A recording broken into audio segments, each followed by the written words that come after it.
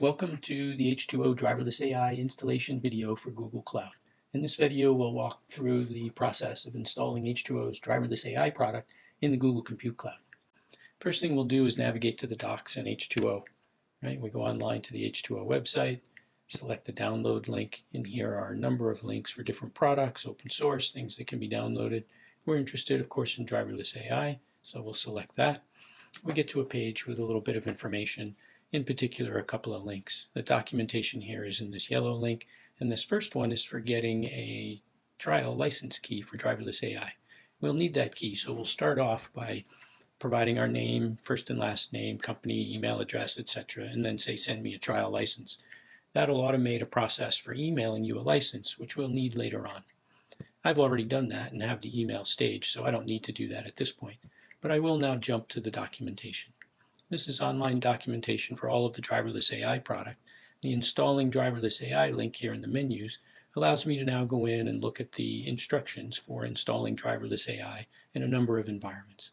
Documentation talks about GPUs and the way the system works, talks about the minimum for disk space and amount of memory we want. Um, and there's this quick start table, which is interesting, that shows requirements and environments in which we can run driverless AI. There are a number of cloud offerings, there are individual server setups as well as desktop environments. We're going to install in Google Compute, so we'll select that link and jump to that section of the documentation. There are about, I don't know, 15 or so steps here for installing within Google Compute. So the first thing we'll do is access that Google Compute environment. I've logged in here in my browser, and I'll now jump to the first step, which is to go to the Compute Engine VM Instances page. Here I'm offered the opportunity to create a new VM. And I'll go in and first thing we'll do is give it a name. DAI and select a zone. It's defaulting to my locale of US East 1B. There are a number of zones we could select. Some of these can do GPU enabled uh, virtual machines. If we weren't doing a GPU enabled install, we would want to select a zone that supports GPUs. There is a web page from Google that talks about what zones support it. That's referenced here in the documentation. Open that link and jump to it and it talks all about GPUs and Google and here's the list of the different zones and the types of GPU support they provide. So if you wanted to do a GPU instance, you would want to be sure to select the appropriate zone where you could have those GPUs. So now selecting the machine type, I'll come in and probably be okay for this simple trial here with 8 CPUs, 54, 52 gigs of memory. That may change depending on your use case, the number of uh, the size of data, number of projects and things you're running. I'll also want to change the operating system to Ubuntu 16.04 and ensure that I have enough disk space. If I wanted to um, do GPUs, that would have been done in here as well, right? Uh, not this screen, but back here on this one. I'm sorry, customize your machine type in here I could have selected GPUs, right, and then decided how many GPU cards I wanted and what type I wanted. But again, since I'm doing CPU, I don't need to configure that. So we've got our operating system configured. Um, I like to add SSH keys. The uh, documentation online simply talks about uh, using the Google browser-based SSH to gain access to the VM we create. But I also like to SCP data up, so I want to add my own SSH key. I have a key staged here, my public key that I use for these online systems and I can paste that in here and add that item.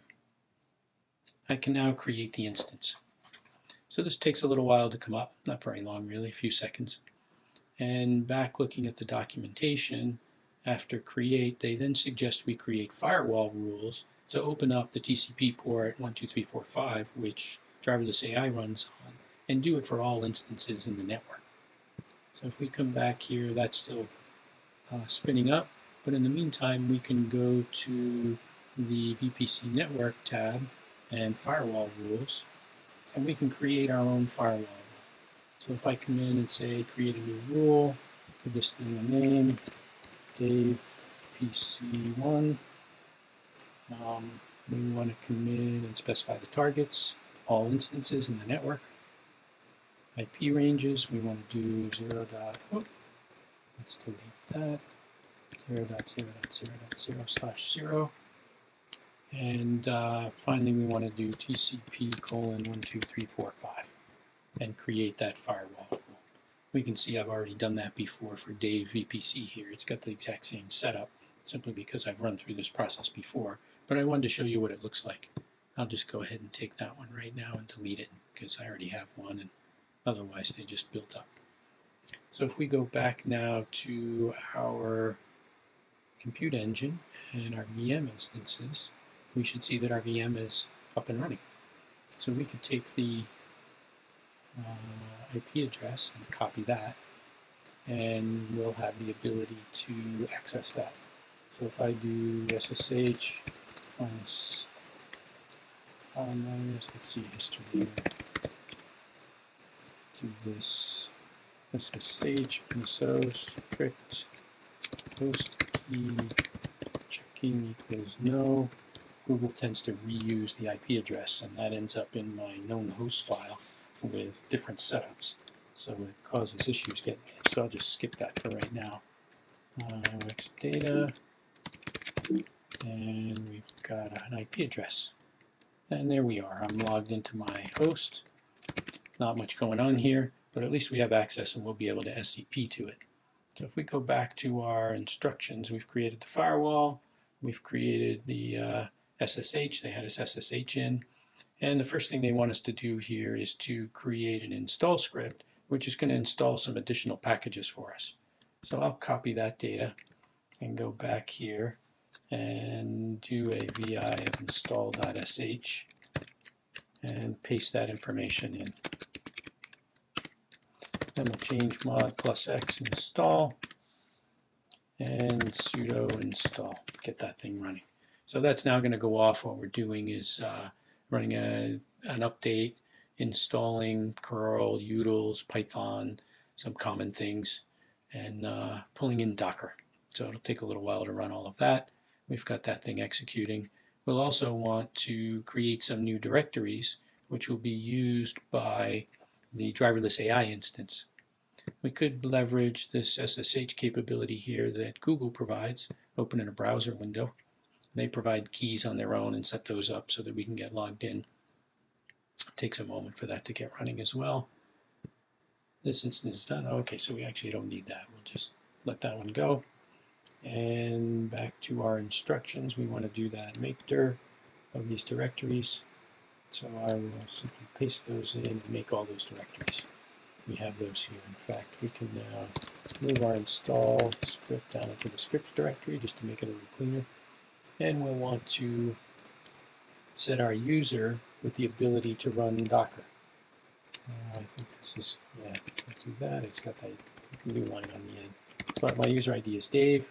I'll want to actually log out and log back in to get that to take effect. If I do ID now, we can see that I have Docker privilege in that group. We can also go now and download the version of driverless AI that we're interested in, the actual instance we need up to there is the version. I'll copy that, get that downloading, paste it. 1.0.18.gz will install. Get that downloading.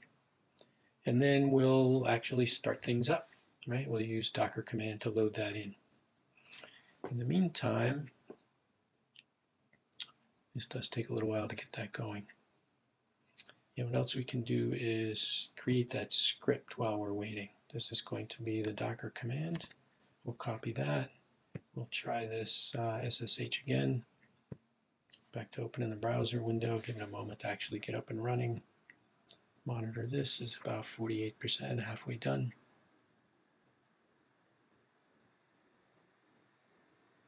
One of these should finish first, right? Oh, there we go. So I can now vi scripts uh, start.sh script. So this is going to be the script we use to actually start up the Docker instance of driverless AI.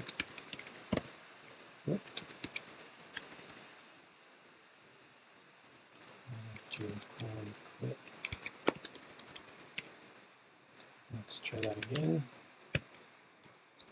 Paste, skip, colon, quit. Scripts can't write that. write as start.sh.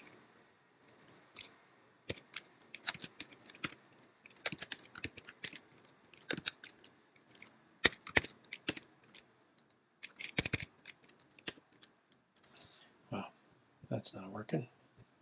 Let's go back here and try it. So we've got ls ls script ivi scripts dot s scripts slash start dot sh. Paste that in there. There we go. Change mod plus x my scripts start sh. Get rid of this window. Whatever I've done there was not working right. So I've got that back to my instructions. So we've done that and we can do this to get our instance up and running. Whoop. Copy it. Come in here, we want to load 1.0.18.gz and that will get our driverless AI instance up and running. The other thing we want to do is terminal shell new window. I want to um, SCP, what was that command we had over here when we logged in? This one, minus O, up to the port number, the IP number rather.